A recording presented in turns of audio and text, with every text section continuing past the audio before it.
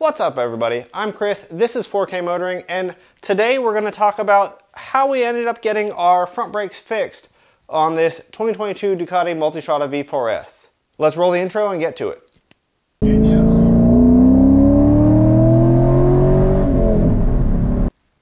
As some of you may remember, I've been having issues since I bought this 2022 Multistrada with sponginess in the front brake lever. This has been quite concerning and at some points felt almost unsafe with the lever having to come back to the handlebars and having a different experience every time. Now, after about a year riding and about 10,000 miles really is what I put onto it in this time frame, I noticed that pretty consistently I would have to bleed the brakes, at least the front brakes, about once a month. And I did narrow it down to the front brakes. I didn't narrow it down to exactly which bleeder screw made the most difference, but I knew it was somewhere in the front and at least once a month I'd have to bleed these brakes in order to maintain somewhat decent braking feel out of this front lever. And post the video up above, I made a video about this that a lot of you guys watched and responded to, chronicling exactly what was going on. The brake lever, very typically for air in lines, would build, it would squish back almost all the way to the lever, and then on repeat pumps, it would build pressure and not come back so far. Very classically, air in the lines.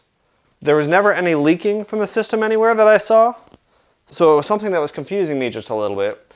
I ended up going to my dealership, Ducati Greensboro, and had a conversation with the technician exactly about what I was seeing, and what we found was behind this dust cover on the front brake master cylinder, there was a tear in the diaphragm that was letting fluid and air across and basically letting air in to the actual plunger.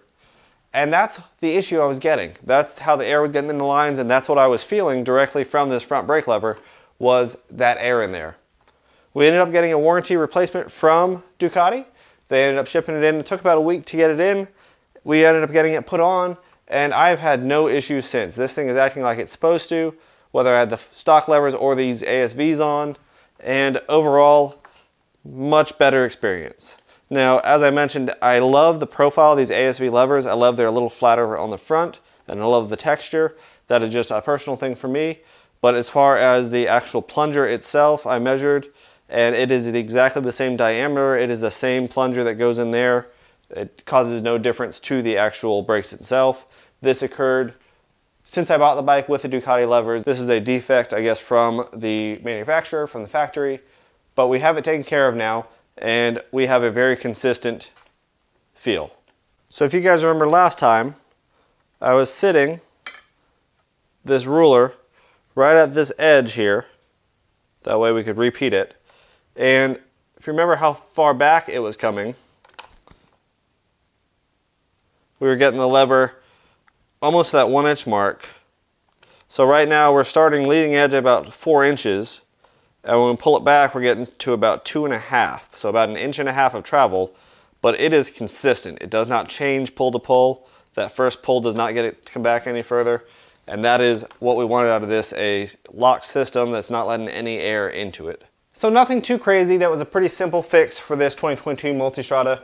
I know a lot of you guys have asked me because you're having similar issues what the fix was, and overall it was a diaphragm tear in the front of the front master cylinder. That was it. That took care of everything. I've had no other issues.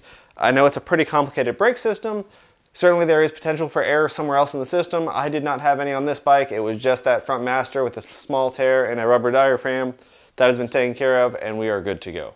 If any of you guys are having other brake issues for this bike, I would love to hear about it. I know everybody down in the comments would love to hear about it too, so let me know what issues you're having, and if you found a fix, let me know that as well. That'll be a great resource for everybody watching this video. So like always, let me know if you have any questions. This is a pretty easy fix for the 22 Multistrada, and now it's riding exactly like I want it to. Overall, I think we have this bike pretty well set the way we want it. There's not a whole lot else I want to do to this bike or think needs to be done to this bike. So we're very much enjoying riding it, over 13,000 miles on it now. It's been awesome. Thank you guys for watching 4K Motoring. I'm Chris. If you haven't already, hit that like button and subscribe. We'll be back with you soon.